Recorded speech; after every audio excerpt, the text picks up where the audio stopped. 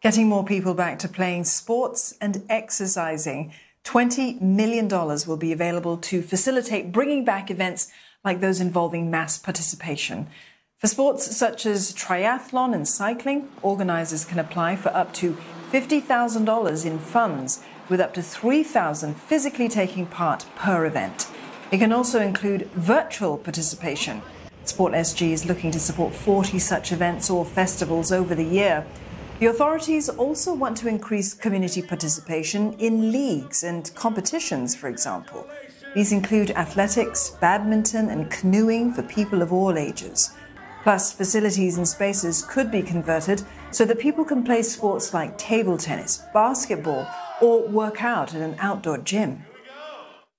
Like arts, sports is a social glue that brings us together as we cheer on our athletes fighting hard for Singapore, or as we develop friendships by simply engaging in a game or two on the field or on the court. We hope that these measures will encourage Singaporeans to resume sporting and wellness activities safely.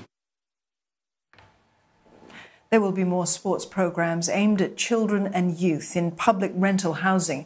For example, football's Saturday Night Lights will be rolled out in Queenstown and four other towns under a community link project.